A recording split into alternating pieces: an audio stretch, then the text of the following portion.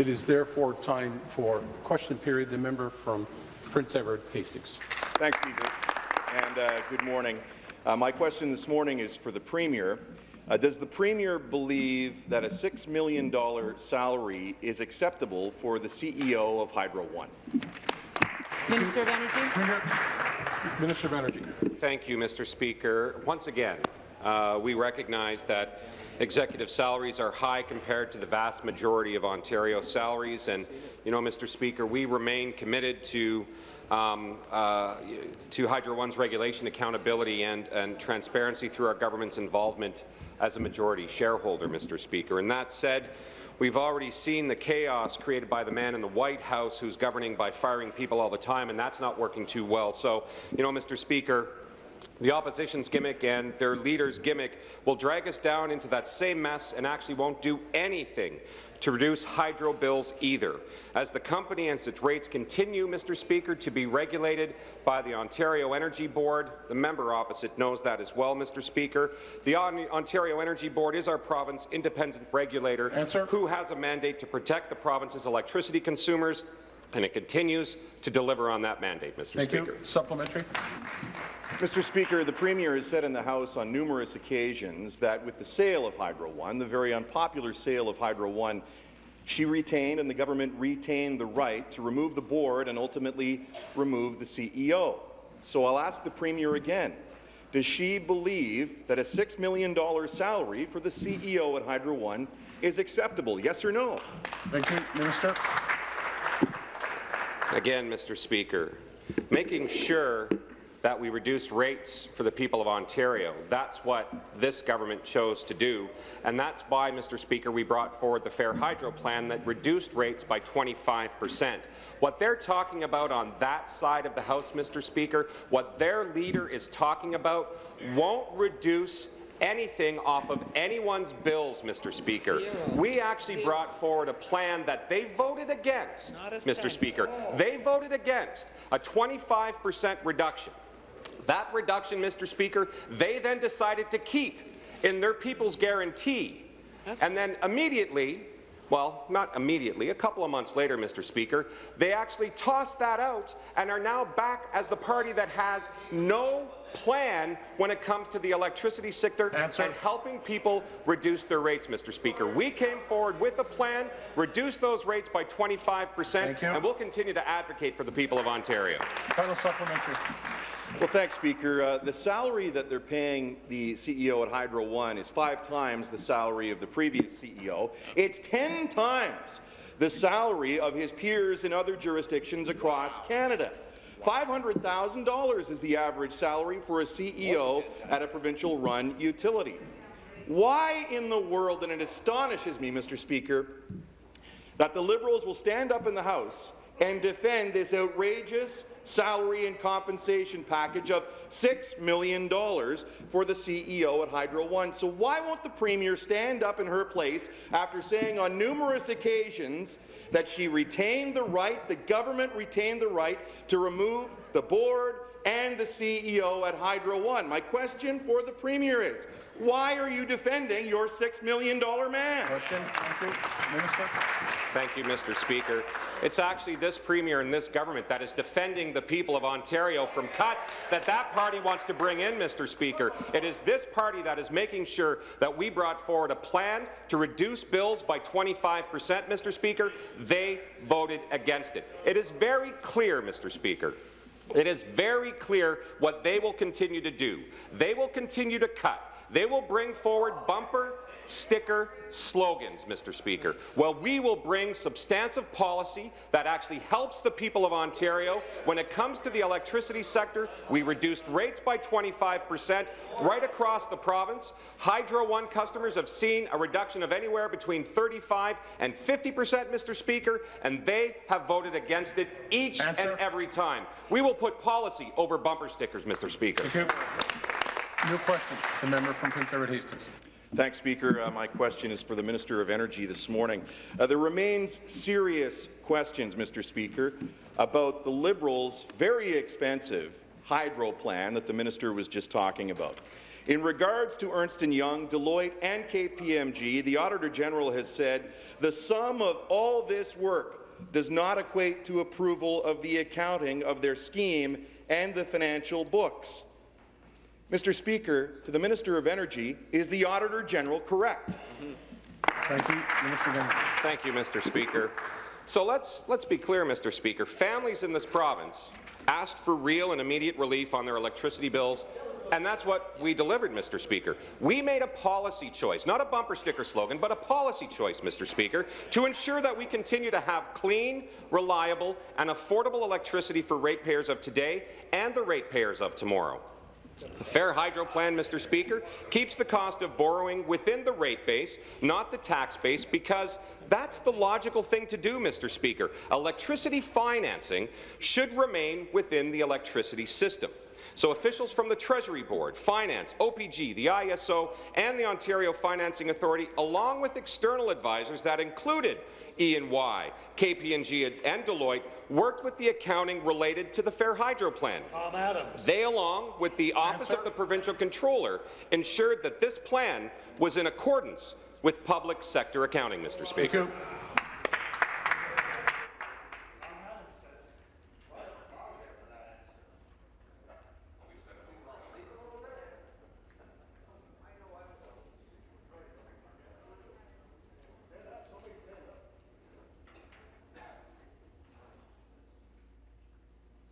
Supplementary. Why, thank you, Speaker. Uh, that was a lot of rubbish that really said nothing at all, Mr. Speaker. The fact that the minister can even refer to this very expensive hydro plan as fair is unbelievable to the people of Ontario who are going to be paying record-high electricity rates after the next election because they're doing nothing to address the cost of electricity in Ontario.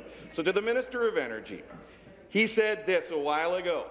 Our plan has been approved by her, speaking of the Auditor General, by her peers at some of Canada's top accounting firms like KPMG, Ernst & Young, and Deloitte. The Auditor General has said that that's not true, Mr. Speaker. Did the accounting firms really approve the plan? That's what we want to know. To the Minister of Energy, Question. did those accounting firms really approve the plan? Thank you. Minister of Energy. Yes, Mr. Speaker, the official opposition is again up here criticizing a plan that has reduced electricity rates by 25 percent on average for all families and as many as a half a million small businesses and farms, Mr. Speaker. That plan is saving families in eligible and rural and northern communities up to 40 and 50 percent on their hydro bills. So first, Mr. Speaker, they voted against it, and then they included it in their own platform just a few months back, and now their five-month-old People's Guarantee is absolutely gone, and so is any type of plan for the electricity sector, Mr. Speaker. But let's see, Mr. Speaker, what two world-class accounting firms had to say in their statements regarding rate-regulated accounting. Mr. Speaker, KPMG said, on the basis of our extensive research, deliberations, and an opinion from another major accounting firm, we believe that the accounting policies adopted by the ISO are in accordance with the Canadian public sector accounting. Deloitte concluded that any regulatory assets and liabilities recognized are appropriate to the applications of these policies, and I'll more in the. I did uh, spend a moment to try to see if uh, you could go without uh, my warning program put back into place. It took two rounds, but we are in warnings. We're in warnings. New question. Sorry, supplementary. The final supplementary. Thank you, Mr. Speaker. The Minister of Energy said, and I quote, "Of course we've worked with KPMG, we've worked with Ernst & Young, we've worked with Deloitte. All of them agree that the accounting standards are accurate. The Auditor General, the independent officer of the legislature, has said that that's not true. You know, I think anybody looking at this will realize that we can trust the Auditor General a heck of a lot more than we can trust the Liberal government in Ontario. So my question, Mr. Speaker, is was the minister telling the truth when he said these things? Thank you. Minister. Thank you, thank you, Mr. Speaker.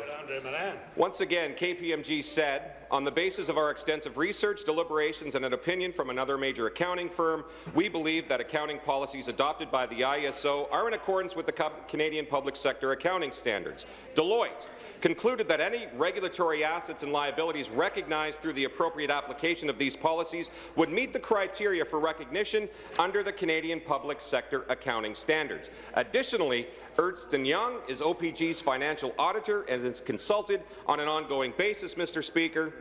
And finally, the officials that work within these departments, the Treasury Board, Finance, OPG, ISO, and the Ontario Financing Authority worked on the accounting related to the Fair Hydro Plan, Mr. Speaker, and all agreed with the Canadian accounting standards that we've moved forward, Mr. Speaker. Thank so you. we'll continue to reduce rates. Thank you. My apologies to the member from Prince Edward Hastings and to the Leader of the Third Party. It's now a new question. The Leader of the Third Party. Thank you, Speaker. My question is for the Premier. Why does the Premier believe that a mom who wants to go back to work should have to wait till till her child is two and a half years old before having access to childcare that she can afford? Thank you. Premier. Thank you very much, Mr. Speaker. And I want to say to the Leader of the Third Party, I did read her platform in the dark, early morning this morning. Um, and I have to say that, you know, as I went through the document, I had my had pen and it was like, okay, we're already doing that. That's in our plan. Oh, we disagree there. But overall, Mr. Speaker, there is a lot of common ground between uh, what we're putting forward and what the NDP has put forward, Mr. Speaker. I'm happy to talk about some of the differences, but, Mr. Speaker, I think it is very, very clear that the real threat to the caring, supportive province that has been built up over decades, Mr. Speaker, is coming from Doug Ford, is coming from the Conservatives, Mr. Speaker. But I'm happy to talk to the uh, I'm ha happy to talk to the uh, third, the leader of the third party about uh, where we differ, Mr. Speaker, because we do differ on a number of points. Thank you. Supplementary. Speaker, yesterday at the launch of the NDP platform, a young woman uh, talked to me, a young mom with her little baby in arms, talked to me about wanting to make sure that her son had access to high-quality, not-for-profit childcare so that she could go back to work confident that her son was getting the best possible childcare. But she also talked about how hard it would be to pay for it. Now, I don't think that that mom or any parent should have to wait for two and a half years for childcare that they can afford. Why does the Premier?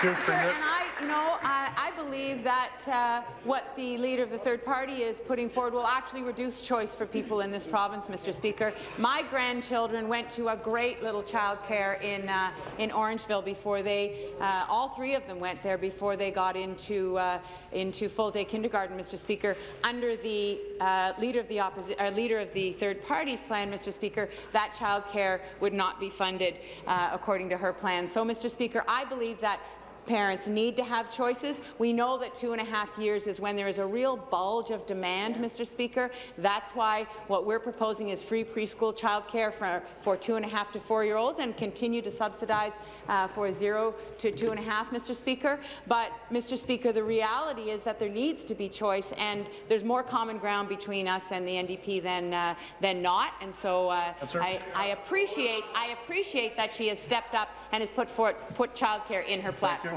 Final supplementary.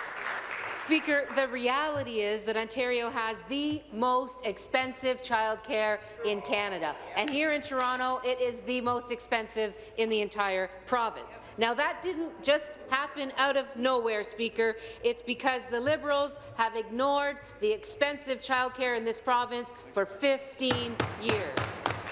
If this government, if this Premier were serious about affordable childcare, we would have it already in Ontario.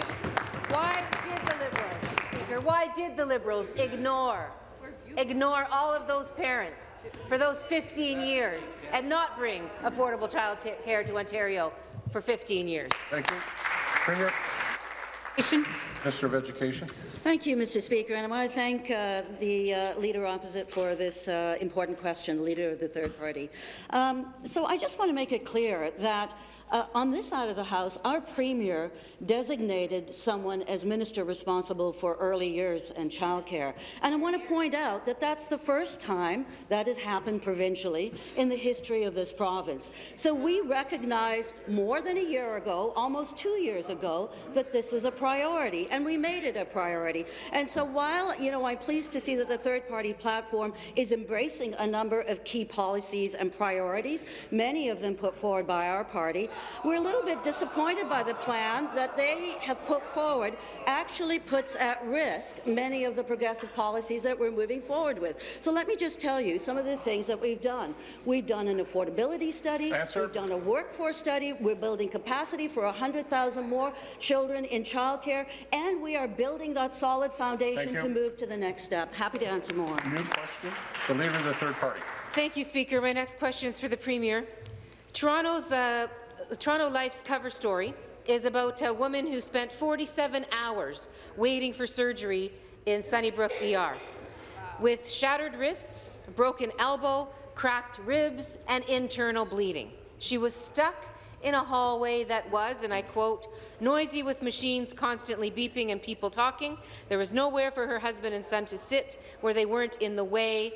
It was like parking in a fire route. She was entirely dependent on the nurses who, despite being clearly overloaded, she says, took excellent care of her. Rather than venting or getting snippy, they just kept apologizing. Does the Premier believe that that's acceptable in Ontario in 2018?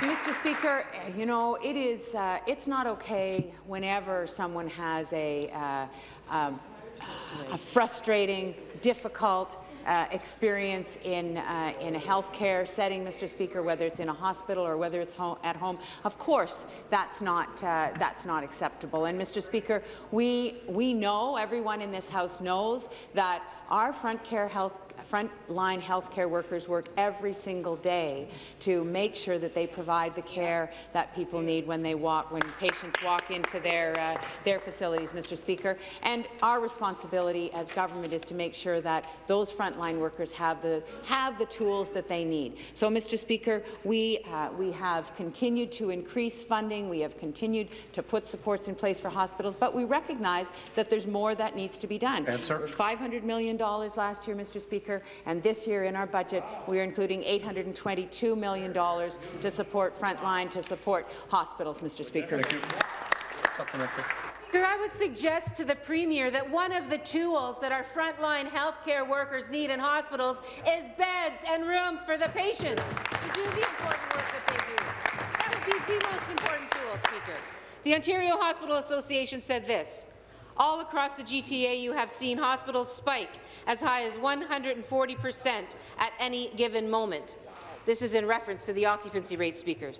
Hospitals need stable funding that recognizes the realities that they face. Getting people out of hallways means funding hospitals. I have a plan to do that, Speaker. The Conservatives under Doug Ford will privatize and further cut our ho hospitals and health care. Why did this Premier create this crisis in the first place, Speaker? Premier. Well, Mr. Speaker, I actually didn't create an aging demographic. I may be part of that aging demographic, but I didn't create it, Mr. Speaker. I think that was a post-war baby boom that has created an aging demographic, Mr. Speaker. And what we have worked to do is put in place a continuum of care. So, Mr. Speaker, I agree with the Leader of the Third Party. We need to put more funding into hospitals. We have $822 million that we recognize needs to go into hospitals on top of every year the increases that we've made, $500 million last year, but we recognize that there is more that's needed. But, Mr. Speaker, we have been investing in home care.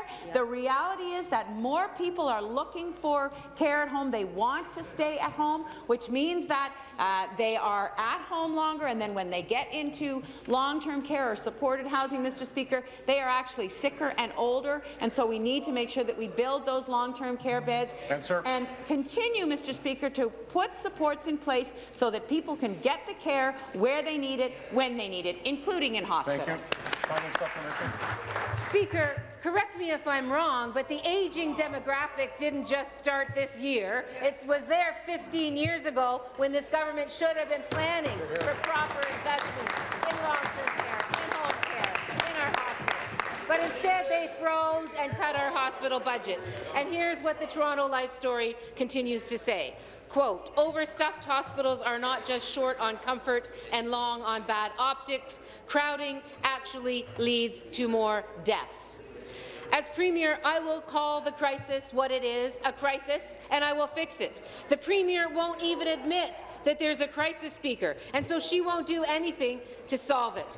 And we know for sure that uh, as bad as things are with the Liberals, Doug Ford will make it even worse. Why did this Premier allow things to get this bad, Question. Speaker? Mr. Speaker, again, you know, when I looked at the platform that the leader of the third party is bringing, that their party is bringing forward, there's a lot of common ground in terms of what we think the solutions are, Mr. Speaker. So we've said $822 million we need to put into hospitals. There are a few million more that the third party is uh, suggesting needs to go into hospitals. We recognize, Mr. Speaker, that there need to be long-term care beds built. The third party says we need to build long-term care beds. Mr. Speaker, I agree with the leader of the third party that there's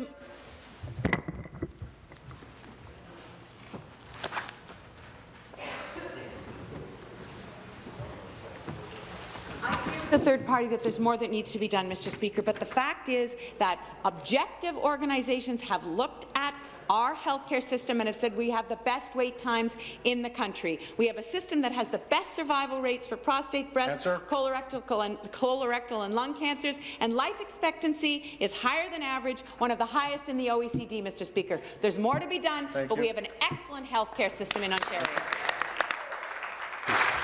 Be seated, please. Be seated, please. Thank you.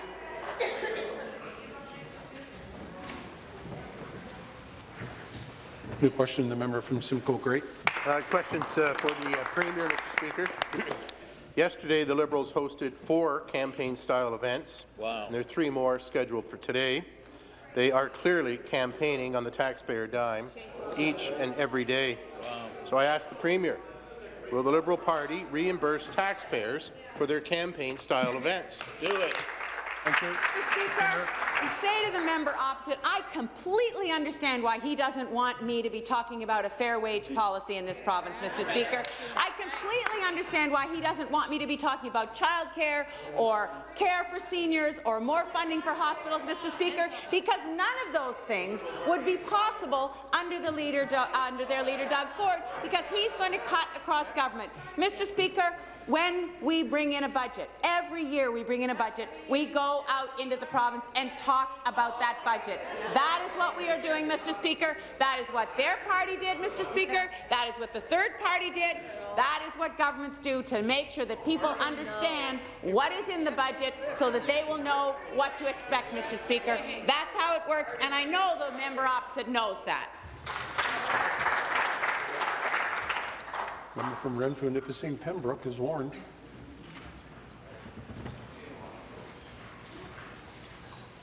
A few other, Amy. Supplementary. Uh, back to the Premier. Premier, you have told the people of Ontario that the budget that you just presented in this House is your campaign platform. So that means every event you have is promoting your campaign platform using your own bloody logic. Stop doing it, it's wrong, and repay the taxpayers. The Liberal Party owes the taxpayers for thousands and thousands of dollars on these campaign-style events. Will you do the right thing and pay back the taxpayers? Please. Be seated, please. Thank you.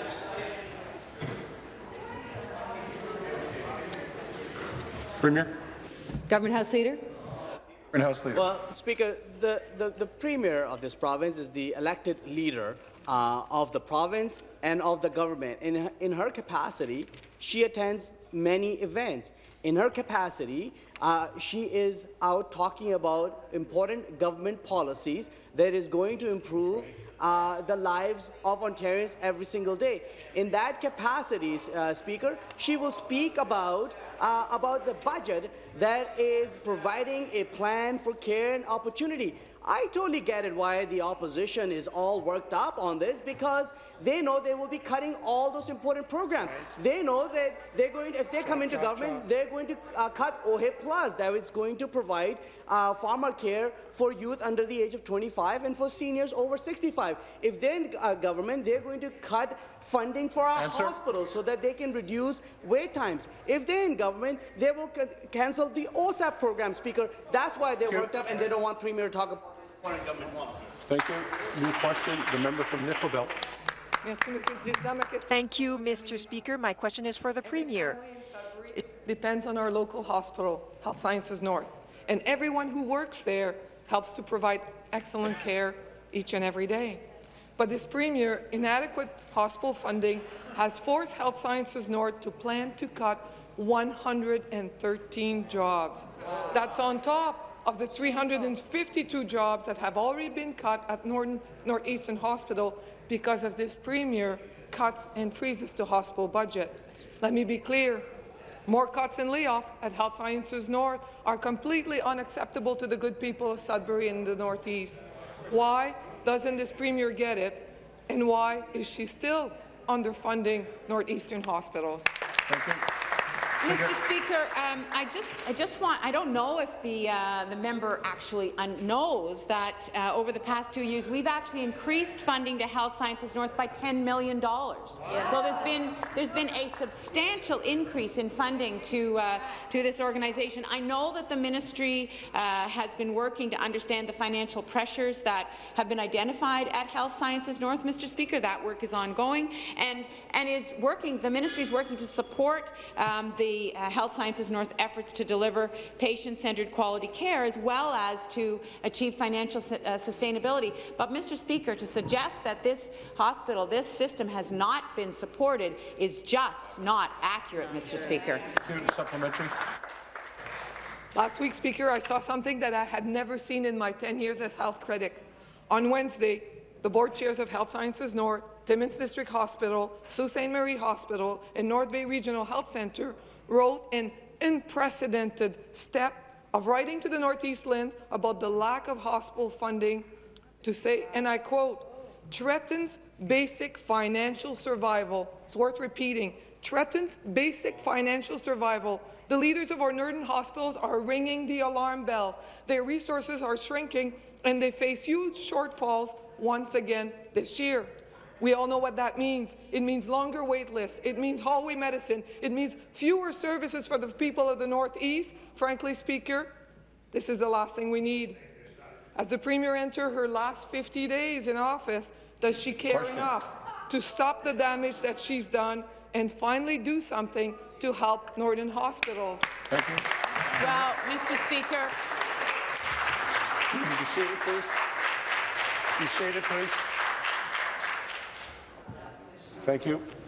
Premier? Uh, Mr. Speaker, and I know, I know the Minister of Health and Long-Term Care will want to talk to the member, but um, what, the, what the member has said really does not accurately represent the situation. So $10 million over the last two years, Mr. Speaker. The ministry is working to understand the financial pressures that have been identified at Health Sciences North. We've been working closely with the, uh, with the LHIN and the hospital to ensure that there's no impact on uh, patient care in the community, Mr. Speaker. That's exactly why the ministry is supportive of the LHIN's decision to not support Health Science North's proposed plan, and the hospital will be required to undertake an independent third-party review to look at potential strategies, mitigate any broader health system and patient Answer. impacts. We've advised the hospital and the board that we're fully supportive of the Northeast LHIN's resolution. That's the ministry, Mr. Speaker. The ministry is working closely with them. We do Thank you. care absolutely about patient care in Sudbury, Mr. Thank you. New question, the member from Etobicoke North. Thank you, Speaker. My question is for the Minister of Transportation. Speaker, in addition to the many developments in Etobicoke North, for example, Etobicoke General Hospital, Humber College and new schools, I know about the pressing need to improve transit in the west end of Toronto. That's why the strategic investments in transit will improve options for commuters, regardless of where they live in Toronto or in fact the wider region. Speaker, I know that our government is moving forward on a number of projects that will make transit a more efficient option. For example, in my own riding of Etobicoke North, we have right now underway the Finch West LRT, a billion-dollar expansion with eight stops from Humber College, Westmore, all the way to Kipling and Islington. But beyond that, I'd like to ask the minister, could she provide more information on how our government is making more progress connecting more Etobicoke residents to our regional transit network through the Kipling Mobility Question? Hub? Thank you. Minister of Transportation. Uh, thank you, Speaker, and I want to thank the member from Etobicoke uh, North for his question and his unrelenting advocacy on behalf of his community. Speaker, the way people move around the GTHA isn't the same as it was a decade ago, let alone five years ago. And as a former resident of Etobicoke, I see the changes in the, in the uh, west end of Toronto. More and more people are making the switch to transit because they see it's a convenient alternative to their taking their car. But we know that there's more work that needs to be done, and a huge part of that is bringing together different forms of transit, including the bus, the GO train, Toronto subway system, and cycling in an integrated way. That's why the Kipling Mobility Hub is such an important project and why I'm so pleased to say that we now have shovels in the ground to see this project to completion. Speaker, this project will not only serve commuters in Etobicoke, but also those coming from surrounding communities like Mississauga. Answer. It's a great day for transit riders and for those looking to hop on board. I look forward to saying more in my supplementary. Thank you. Supplementary. Thank you, Speaker. I'd like to thank the minister not only for the answer, but also for the integrated plan, which will benefit so many residents in the GTHA. Speaker, this fr past Friday, I know colleagues, uh, for example, Minister of Housing, Minister responsible for poverty reduction, and the member from Etobicoke Centre were excited to join TTC Chair Josh Colle, Mississauga Mayor Bonnie Crombie, and Metrolinx uh, COO Greg Percy to make an exciting announcement. Kipling already brings together Go Transit, the TTC, and MiWay buses. So, of course, it is a natural next step to bring them together in a more seamless, commuter-friendly way. I've heard from members in my own community who are excited to see how this project will unfold. Speaker, while our government has a proven track record of investing in projects like this one at the future Kipling Mobility Hub, not all parties see the value of investing in transit. As an example, as you might anticipate, Speaker, the Ontario Conservative Party is just running on empty. Question. Ready to slash, cut, clawback, and trump up our social deficit. My question is, can the minister please provide the members of this House Thank you. with more information? Thank you. Minister? And I want to thank the member from Etobicoke North for that supplementary question. And I'd also like to thank the Minister of Housing and the Minister responsible for poverty reduction uh, strategy for making this project a reality. As a City Councillor, he fought tirelessly for the Kipling, Kipling Mobility Hub, which I used to live nearby, and I'm so happy to see that his hard work is paying off. When this project is complete, it will seamlessly bring together municipal and regional transit systems to make it easier to move, for example, from Mississauga's MiWay onto the subway or to the Milton GO line. At the same time, it'll improve connections for those commuters who are looking to access the station on, on, on by bike or by foot. It's a huge step forward, but it's only one part of the plan. We're moving forward with a historic $21.3 billion transformation of our GO network. And at the same time, we're making your commute more affordable through initiatives like reducing the cost of transferring between GO and the TTC. Thank you. Your question, the member from Elgin, Middlesex, London. Thank you, Speaker. Speaker, my questions to the Premier. Speaker, earlier this morning I was joined by the Canadian Cystic Fibrosis Treatment Society and cystic fibrosis patients who urgently require access to life-saving drug Orkambi. Unfortunately, this government's back-of-the-napkin approach to OHIP Plus coverage has resulted in children like Victoria, who is here today, uh, unable to receive the life-saving treatment that she needs. My question to the Premier is, why is the Minister of Health doing nothing to help the thousands of children requiring these life-saving drugs? And and please refrain from talking about the Exceptional Access Program. Thank you. Mr. Speaker, um, we have every sympathy for um, people who are struggling to look after themselves, look after their families, Mr. Speaker. Um, cystic fibrosis patients and their families struggle with debilitating effects of this disease and, uh, and look for hope in each new drug that comes forward. I, I understand that, Mr. Speaker. And we empathize them. We want, uh, we want these people, we want these individuals and families to know that we are committed to finding solutions, Mr. Speaker. If we weren't, we would not have put in place OHIP Plus, which provides uh, free prescription medication uh, for young people from their birth till their 25th birthday for 4,400 medications, Mr. Speaker, for all of the medications that are on the formulary. If we didn't care about this, then we wouldn't put that forward, Mr. Speaker. Answer. And what we, uh, you know, what we know is that there is obviously more that needs to be done as drugs are tested and more drugs come on the formulary, Mr. Speaker. But we are committed to finding those solutions, working with the scientists and with the sector to make sure that children and families get Thank the support you. they need. Speaker, back to the Premier. Premier OHIP Plus has caused many barriers and actually reduced access to life-saving treatments for children across this province.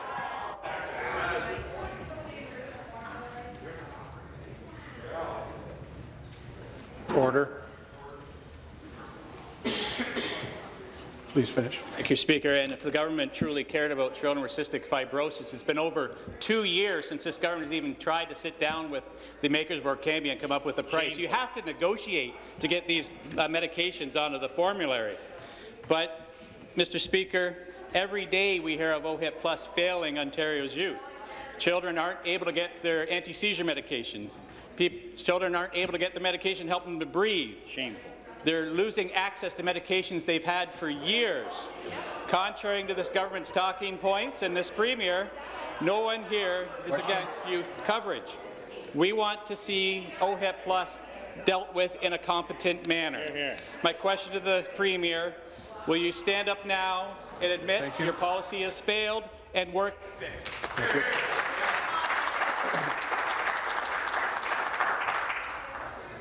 Let's appreciating the sensitivity of the question and the answer, I will ask all members to come to order. Premier.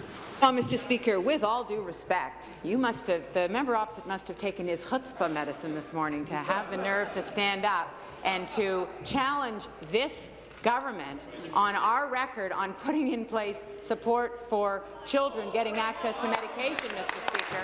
It's just, it's quite unbelievable.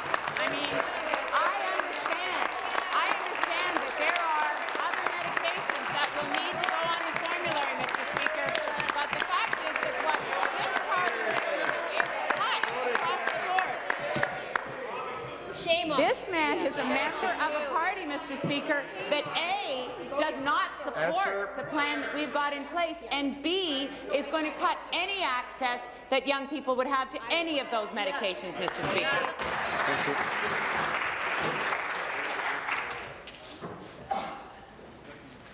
New question, the member from London Fanshawe. My question is to the Premier. Dawn and Dave Warren have spent years trying to get better mental health services in London and they have experienced firsthand the crisis of hallway medicine too. When Dawn needed urgent care, she was rushed to the hospital by ambulance. But instead of getting a proper bed, she was put on a gurney, and not just for a few hours, but for five days. Wow. That is completely unacceptable. When people like Dawn and Dave need urgent mental health care, they need to be able to get it. No one, no one who needs mental health services should ever fall through the cracks. So why does the Premier keep letting this happen and keep fa letting families in London suffer with the without the mental health care services that our city needs? Mr. Speaker, I completely agree with the member opposite that that should not happen. And I, uh, as I've said many times in public, that um, that you know, as a society, we are we are building a mental health care system that really hasn't existed yeah. in the past, Mr. Speaker.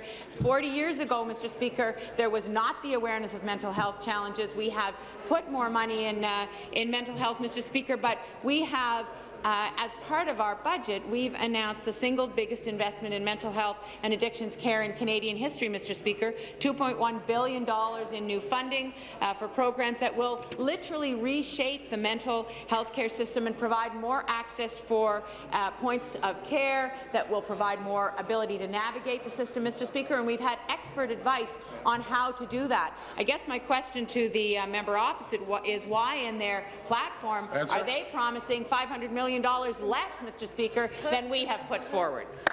Supplementary.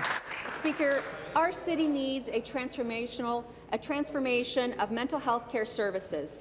The mental health unit at London Health Sciences Centre is so overcrowded, it's been running up to 165 percent occupancy. That's more than double the safe occupancy levels. Local psychiatrists have gone public saying that mental health supports continue to deteriorate, especially as the demand for services grow.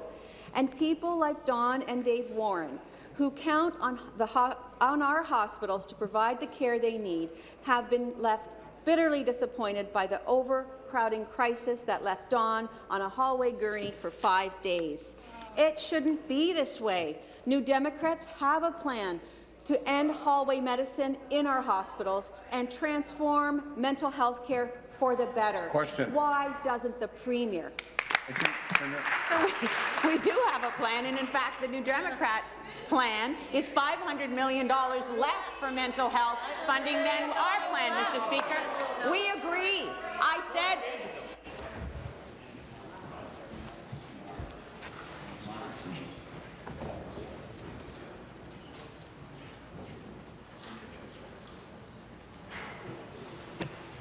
Premier.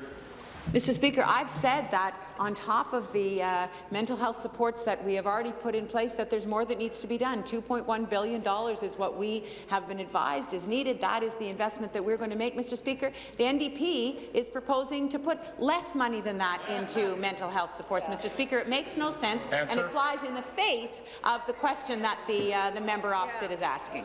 New question, the member from Barrie question is for the Ministry of Environment and Climate Change.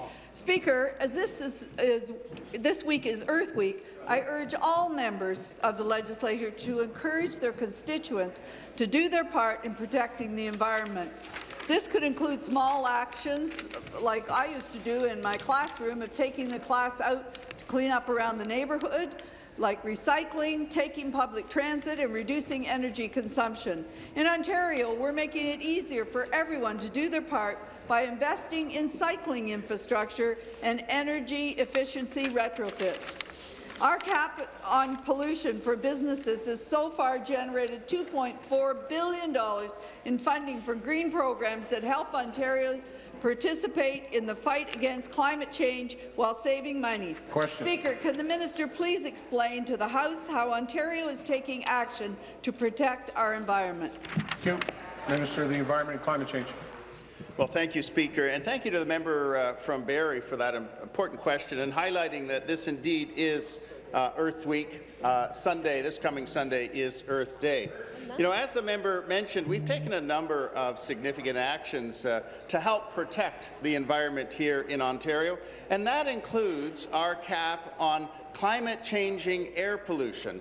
Uh, that cap, through the cap-and-trade system, has raised $2.4 billion in proceeds in just over uh, a year, Speaker. And by uh, we are investing every single penny in, of those proceeds in green initiatives to fight climate change. And let me tell you uh, about one, our Green On retrofits, which is allowing residents to make their homes more efficient at an affordable Answer. cost and helping folks fight climate change. You, supplementary. Speaker, third-party experts agree that our cap on pollution is the best plan to reduce pollution at the lowest price possible. We know that now is not the time to back away from action on climate change. Mm -hmm. Just yesterday, California Governor Jerry Brown was here in Toronto and he said, look, the scientists are clear, the world is clear through the Paris Agreement, the biggest country in the world, China, is clear. So that's where the world is headed. Yeah. Speaker, Governor Brown also said Cap, scrapping cap and trade would be foolish. I repeat, would be foolish. Who would do that, Speaker? In Ontario, we're proud that climate change activists around the world are acknowledging the work our province is doing to reduce pollution and fight climate change. Speaker, can the minister please explain what actions this government is taking to reduce ga ga greenhouse gas pollution and fight foolish. climate change? Thank you, Minister.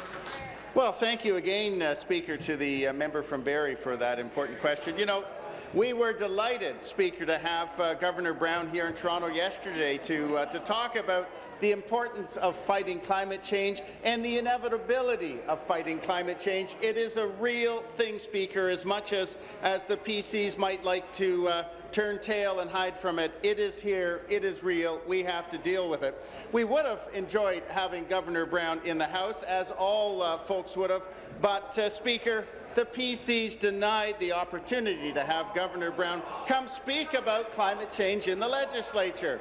You know, climate change should be a nonpartisan topic, Speaker. All parties should agree that climate change is real. You know, Speaker, the Conservatives have abandoned uh, their carbon tax and they're walking away from any action to deal with climate change. Thank you. New question, the member from Renfrew, Nipissing, Pembroke. Speaker, my question is to the Minister of Labour. Yesterday, the Globe and Mail ran a story describing the negative impacts that Bill 148 has had for Ontarians with intellectual and physical disabilities. Yeah. Tragic. Jobs for people with disabilities are being lost as a result of the rapid increase in the minimum wage, combined with the Liberals' elimination of the sheltered workshops program. As Susan Walroth, a mother of an adult with Down syndrome who lost his job, said in the Globe article, and I quote, but for those workers, having a job, even one with a smaller paycheck, gave them a sense of purpose. Close quote. Speaker, how can the minister justify playing crass political games with the minimum wage when the Liberals' policies are clearly hurting some of the most vulnerable among us, Ontarians with intellectual and physical disabilities? Ontario. Minister of Labour. Well, Speaker, crass political games is not what was intended by Bill 148. What Bill 148, Speaker, was intended to raise the living...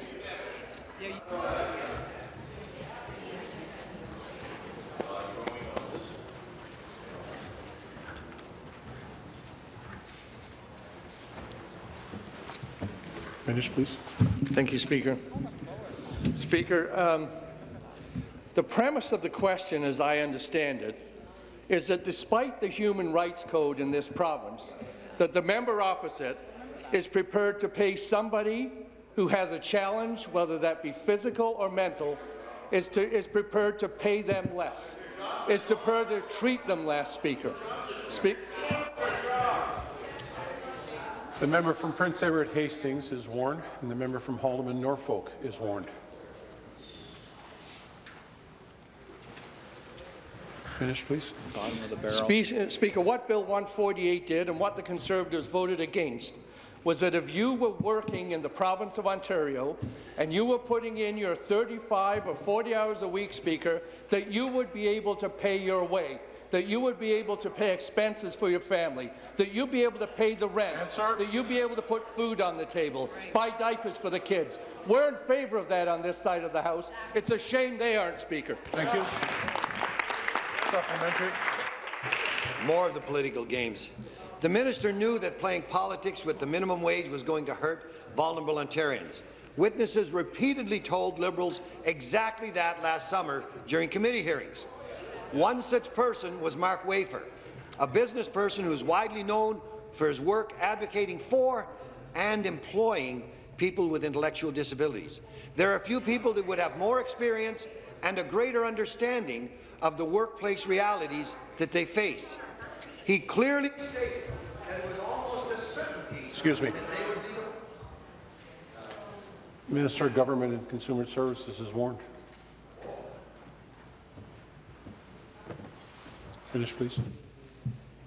As I said, there are few people that have had more experience and greater understanding of the workplace realities they face than Mark Wafer. He clearly stated that it was almost a certainty that they would be the first to lose their jobs. But once again, Liberals put Question. politics before people. Speaker, can the minister tell us why he has failed to protect Ontarians with intellectual disabilities? Here, Minister. Thank you, Speaker, and thank you to the member for that question. Speaker, I've sat down with Mark Wafer and a number Member from Lanark, Frontenac, Lennox and, Addington is warned. And the Minister of Indigenous Relations and Reconciliation is warned. Finish. Speaker, I've sat down on a number of occasions with Mark Wafer, and he's a fine individual, Speaker, and he's got the best interests of people that are dealing with challenges, whether they be physical or mental, is right at the core of his being, Speaker. And what he has always maintained is that he doesn't hire people with challenges because he feels sorry for them. Not because he, not because he pities them, Speaker. It's because they're excellent workers and they deserve to be paid fairly.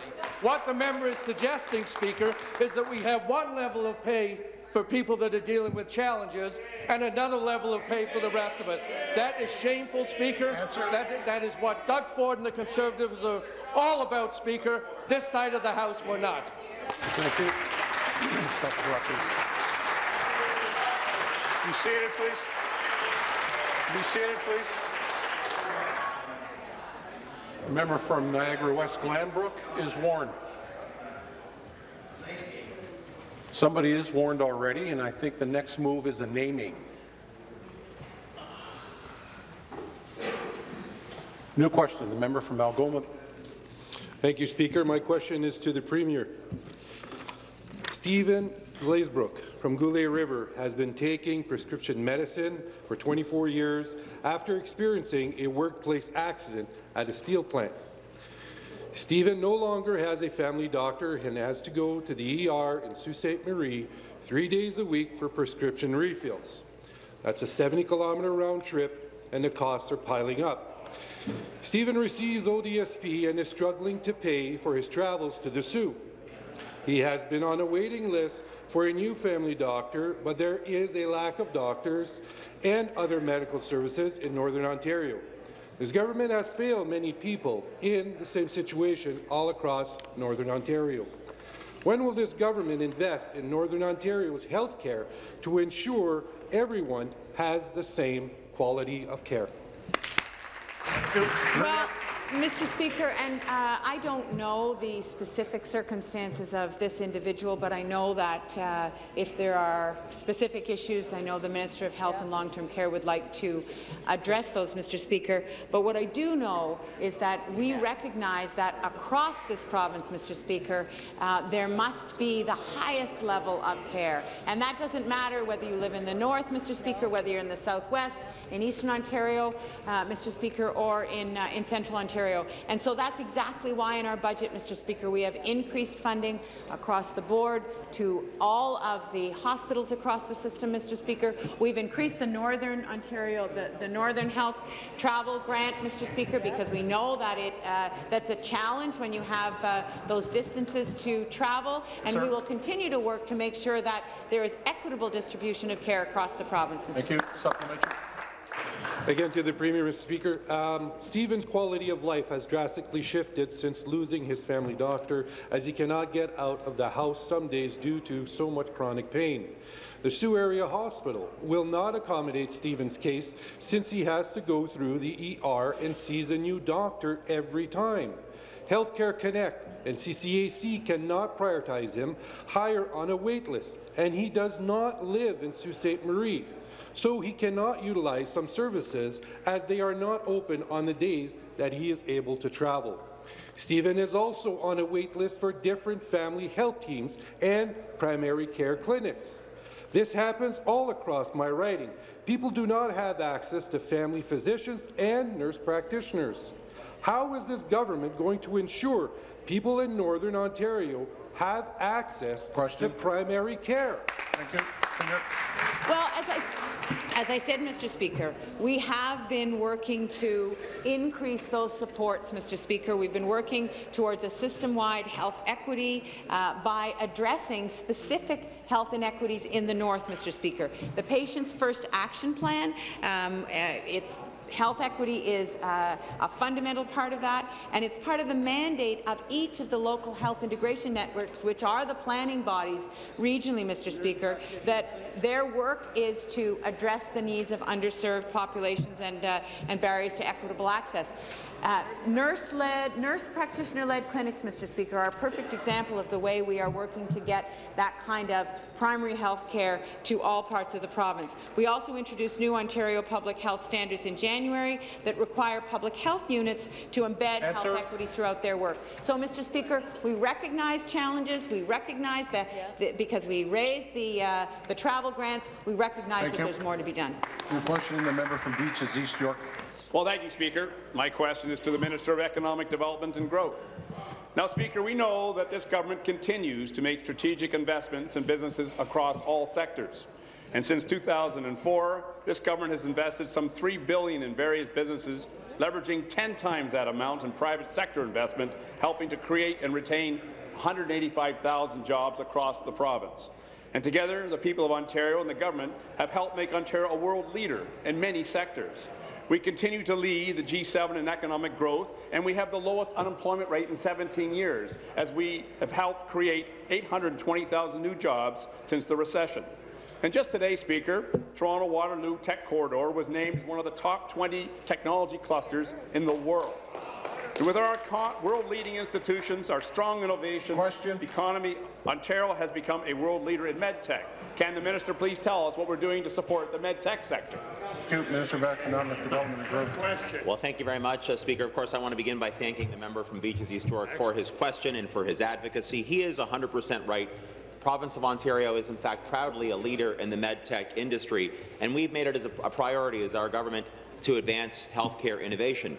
We are home to uh, North America's third largest medtech research cluster with more than 37,000 people working at more than 1,400 companies across Ontario. And our government has been making strategic investments to further this sector's footprint in every corner of the province. Just last week, I was very happy to announce that Ontario will be investing $50 million uh, in response to Sanofi's $500 million investment to help them build a new state-of-the-art vaccine manufacturing facility here in Ontario. This will help create and retain over 1,250 jobs, Speaker. It will help Sanofi more than double its production capabilities and support Sanofi's largest manufacturing investment worldwide, Speaker. Also last week, we announced that we were providing support, a $7 million grant and a $9 million loan to ALS, Speaker. Thank you. Thank you. The min- supplementary. Yes, you. Thank you, Speaker. I want to thank the, the minister for his for, for his clarification of what we're doing, and particularly for the $22.6 million investment we made in food processing in the riding of Beaches East York to support 450 jobs in my community. Leveraging, Speaker, I say almost seven times that amount from the private sector, an excellent investment. So, Speaker, Ontario is currently the largest life sciences jurisdiction in North America, employing over 60,000 people, generating something in the order of three, 38 billion in revenue in Ontario each year. And this reputable life science sector has attracted the world's top health science companies and billions in investments from firms such as Johnson & Johnson, Bayer, and, as the minister noted, Sanofi. So with investments in Toronto, Mississauga, Brampton, Ottawa, and Windsor, it's evident our government is committed to supporting the life science sector across Ontario. So, Speaker, will the minister please inform the members of this House how we continue to support life sciences sector Thank in you. Ontario? Minister. Minister of Research, Innovation and Science. Minister of Research, Innovation and Science. Thank you, Mr. Speaker, and I want to thank the member from Beaches East York for that very good question. Mr. Speaker, this government has announced it's investing up to $50 million in a new Life Sciences Venture Capital Fund initiative.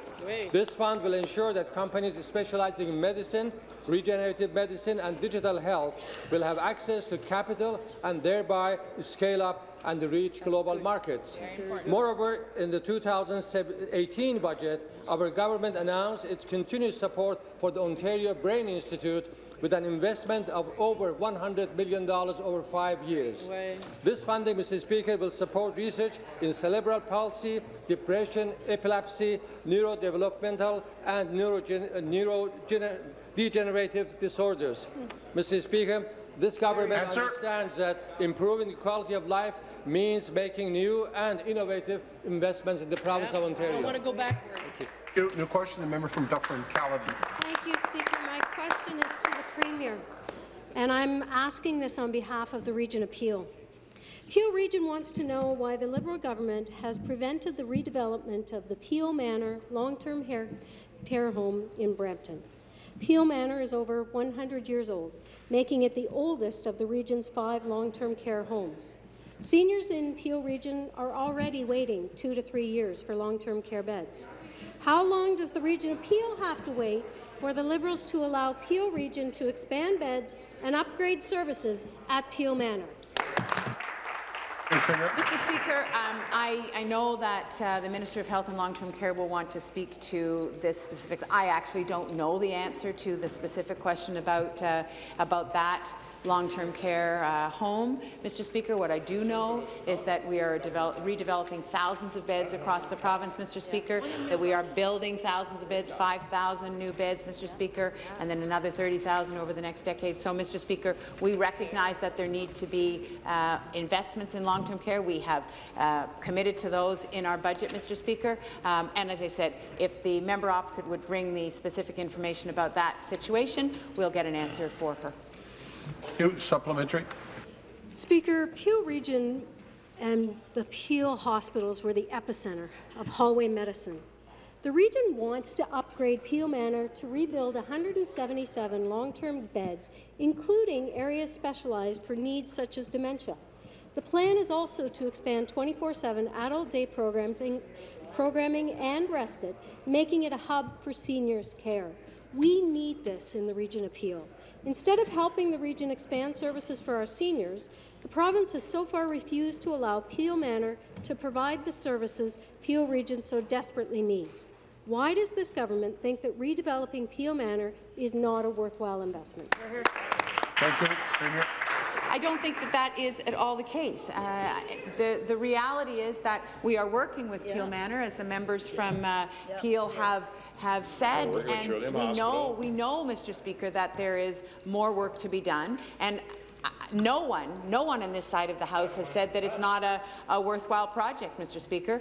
Um, there are thousands of beds across the province that are being redeveloped, Mr. Speaker. There are long-term care beds that are being built, and we recognize that in Peel, where there is uh, a growing population, Mr. Speaker, and along with that growing seniors population, that there is more, more need. We will continue to work with Peel Manor. We'll work with the uh, the um, regional, um, local, the local health integration network, Mr. Speaker, to make sure that in Peel and across the province, people's yes, needs are being met. Yep.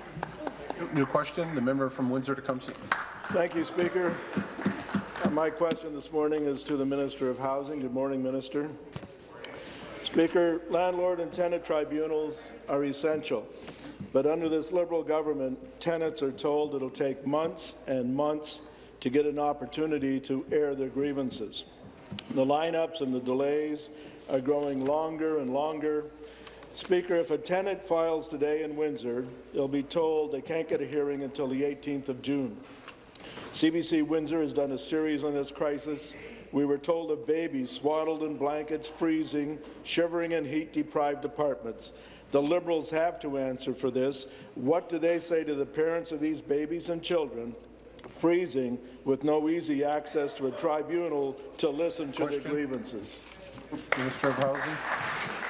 Thank you, Mr. Speaker, and I want to thank the member uh, opposite for the question. When he first raised this with me, I immediately looked into the issue of uh, whether there's vacancies on the tribunal. Indeed, there are three vacancies. I know they're in the process of being filled, and I would urge the opposition to assist that process in not delaying uh, the appointments of, uh, of any members to, to any uh, necessary board. But, Mr. Speaker, uh, on this side of the House, we are committed to helping tenants. We have a housing enforcement unit that assists tenants if they have an issue with their landlord. We've introduced the standard lease, which will also make it easier for landlords and tenants to understand what their rights and obligations are.